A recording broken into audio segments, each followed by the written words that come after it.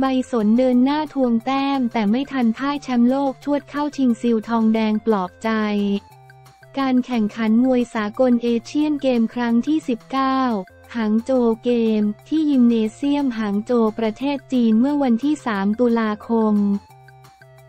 มีนักชกไทยลงแข่งขันหลายรุ่น เริ่มที่รุ่น 75 กิโลกรัม หญิงรอบรองชนะเลิศใบสนมณีก้อนพบลอฟลินาบอร์โกเฮน จากอินเดียแชมป์โลกคนล่าสุดยกแรกยังดูสูสีผลัดกันออกหมัดเข้าเป้า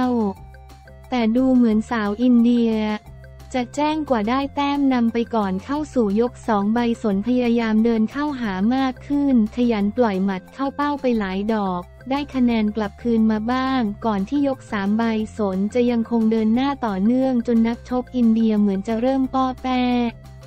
แต่โชคดีที่กรรมการเชือกรองเท้าหลุดต้องหยุดผูกเชือกรองเท้าทำให้ลอฟรีนาได้พักหายใจไปราว 20 วินาที ก่อนจะเริ่มหันมาดักต่อยและวนออก ครบสามยกกรรมการชูมือให้สาวอินเดียชนะคะแนน 5 ต่อ 0ทำให้ใบสน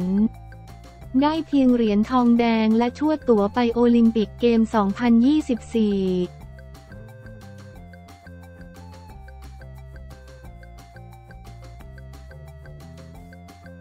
ประจักษ์ชัยแจงแล้วเหตุดราม่าหนักยูกิถูกถอดฟ้าผ่าสิ้นสภาพนางเอก ช่องดังในห้างชี้แจงแล้วเข้าใจตรงกันนะ ประจักษ์ชัยแจงแล้วเหตุดราม่าหนักยูกิถูกถอดฟ้าผ่าสิ้นสภาพนางเอก ช่องดังจากกรณีดราม่าหนัก ยูกิไหทองคำถูกถอดฟ้าผ่าจากนางเอกหลังเพจคนลูกทุ่งโพสต์เปิดประเด็น ทำไมยูกิไหทองคำโดนเปลี่ยนตัวไม่ได้แสดงละครช่องวันกลายเป็นประเด็นร้อนขึ้นมาทันที หลังสถานีคนลูกทุ่ง FM 103 เปิดประเด็นเรื่อง ยูกิเพ็ญผกาไหทองคำโดนเปลี่ยนตัวจากบทนางเอกเรื่องนางฟ้ากรรมกรของช่องวัน 31 โดยในวัน fitting นักแสดงไร้เงายูกิมาร่วม fitting ทำให้เกิดข้อสงสัยว่าทำไมเธอถูกถอดจากบทนี้อะไรอย่างไร ท่ามกลางคอมเมนต์วิพากษ์วิจารณ์ดราม่ามากมาย ล่าสุดนายห้างประจักษ์ชัยไหทองคำออกมาโพสต์ชี้แจงถึงเรื่องนี้ว่า เครื่องหมายสี่เหลี่ยมยูกิไม่ได้เล่นละครไม่ได้บกพร่องอะไรครับ เพียงแค่มีข้อเสนอจากผู้จัดให้เซ็นสัญญา 5 ปี ทางค่ายไหทองคำและคุณแม่น้องเลยไม่สะดวก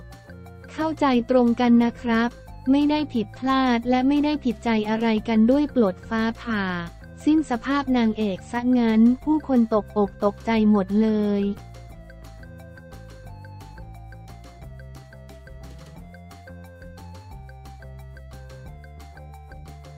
สาวไทยอัดมองโกเลียลิ่ว8 ทีมสุดท้ายวอลเลย์บอลเอเชียนเกม การแข่งขันวอลเลย์บอลทีมหญิงเอเชียนเกมรอบแรกกลุ่ม B ที่เต๋อชิงสปอร์ตเซ็นเตอร์ยิมเนเซียมเมื่อวันที่ 2 ตุลาคม ทีมวอลเลย์บอลหญิงทีมชาติไทยทีมอันดับ 13 ของโลก ลงสนามนัดที่ 2 พบกับทีมชาติมองโกเลียอันดับ 78 ของโลก โดยทีมตบลูกยางสาวไทยประเดิมนัดแรกด้วยการเอาชนะไต้หวันไปได้ 3-1 เซต ส่วนทางด้านมองโกเลีย นัดแรกแพ้ไต้หวันมา 0-3 เซต เกมนี้โค้ชด่วน นายดนัยศรีวัชระเมธากุล หัวหน้าผู้ฝึกสอนทีมชาติไทย ปรับทัพจากเกมแรกโดยวาง 6 คนแรกประกอบด้วย เอสิริมามานกิจเป็นตัวเซต แนน ทัดดาว นึกแจ้ง บีนพิมพิชยากกรำออมสินสสิภาพร จันทวิสูตร เดีย จรัสพรบรรดาศักดิ มด วิภาวีสีทอง โดยมี ปลาวานปิยนุชแป้นน้อยเป็นตัวรับอิสระ เปิดฉากมาเซตแรกไทย เริ่มต้นได้ดีกว่าด้วยการโจมตีที่หลากหลาย นำไปก่อน 11-5 จนทางมองโกเลียต้องขอเวลานอก อย่างไรก็ตามไทยยังเหนือกว่า นำห่าง 18ถึง9ก่อนจะปิดเกมชนะเซตแรกไปด้วยสกอร์ 25ถึง14 ต้นเซตที่ 2 เกมดูจะสูสีขึ้นเสมอกัน8ถึง8แต่หลังจากนั้นไทยเริ่มกลับมาเล่นได้เหนือกว่านำห่าง 15-10 ก่อนที่มองโกเลียจะไล่มา 14-16 ทำให้ฝั่งไทยต้องขอเวลานอกเพื่อปรับการเล่น และกลับมาปิดเกมชนะไปได้ 25-20 นำห่าง 2-0 เซต ส่วนเซตที่ 3 ไทยกลับมาเล่นอย่างได้เฉียบขาด ปิดเซตเอาชนะไป 25-12 จบเกมไทยเอาชนะมองโกเลียไปได้ 3-0 เซต 25-14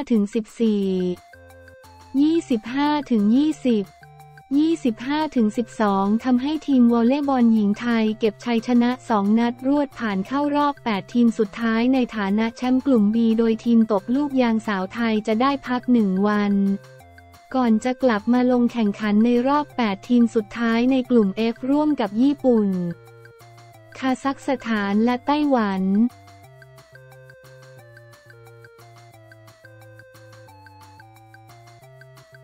นักโรลเลอร์สเก็ตเกาหลีใต้มัว แต่ดีใจก่อนเข้าเส้นชัยสุดท้ายโดนปาดซิวทองเอเชียนเกม มีคลิป ทีมโรลเลอร์สเก็ตผลัดชายเกาหลีใต้ต้องพลาดเหรียญทองในการแข่งขัน เอเชียนเกมหางโจวชนิดน่าเจ็บใจเนื่องจากนักกีฬาคนสุดท้ายชูมือดีใจก่อนเข้าเส้นชัยก่อนโดนปาดแชมป์เหตุการณ์ดังกล่าวเกิดขึ้นในการแข่งขันโรลเลอร์สเก็ตผลัดชาย ประเภท speed skating 3,000 เมตร ของกีฬาเอเชียนเกม 2022 ที่เมืองหางโจวสาธารณรัฐประชาชนจีนเมื่อวันที่ 2 ตุลาคม โดยการแข่งขันมาถึงช่วงสุดท้าย ซึ่งชุงชอนวอนนักกีฬาคนที่ 3 ของเกาหลีใต้ได้กำลังจะเข้าเส้นชัยเป็นคนแรก และเขาก็ได้มีการค่อยๆ ชะลอความเร็วและชูมือเฮเนื่องจากมั่นใจจะว่าจะคว้าเหรียญทองซิลเวอร์มีดาลิสออฟเซาท์โคเรียชอนวอนยุงเลฟ จีดับลีแวงโฮชอยเซนเตอร์ and Inho Choi pose on the podium during the award ceremony of the men's speed skating 3,000 meter relay race G1 at 19 th Asian Game in Hangzhou China Monday Oct 2 2023 AP Photo Aijaz Rahi อย่างไรก็ตามสุดท้ายแล้วหวงอยู่ลินนักโรลเลอร์สเก็ตจากไต้หวันได้ยื่นขามา และกลายเป็นฝ่ายที่คว้าเหรียญทองไปแทนด้วยเวลาที่ดีกว่า 0.01 วินาที หลังการแข่งขันชุงชอนวอน ที่ได้เหรียญเงินแบบน่าเจ็บใจกล่าวถึงความรู้สึกว่า ผมทำผิดพลาดครั้งใหญ่ ผมไม่ได้มาด้วยความเร็วเต็มที่ถึงเส้นชัย ผมลดความระมัดระวังลงเร็วเกินไป ผมขอโทษจริง ๆ ทั้งนี้ทีมชาติไทยก็ลงแข่งขันในรอบชิงชนะเลิศดังกล่าวด้วยทว่าถูกจับ disqualify ไป ขอบคุณคลิปจาก YouTube AIS Play